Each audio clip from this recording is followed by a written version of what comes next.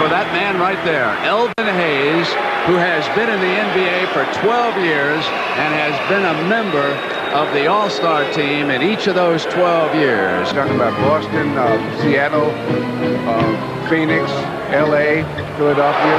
We go back to show you Elvin Hayes moving around, and he went right back to Danny Roundfield on the spinner.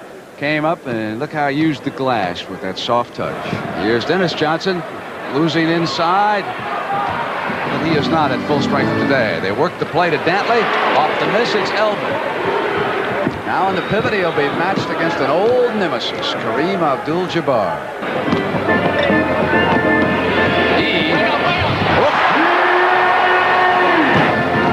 Hustle to the right side, and there he is over there. E, two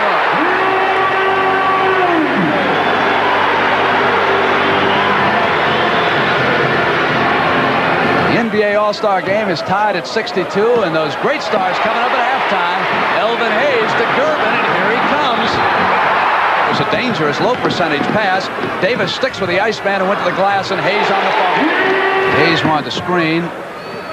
And now Elvin pops out, and here's Michael Ray. Nice shot. That's 16 for AD. Bird goes back to Johnson, who moves to E.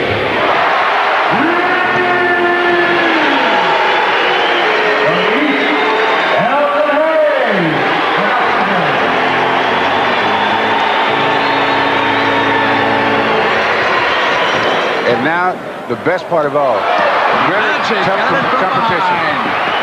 Passes to Westphal, and Elvin Hayes blocked it.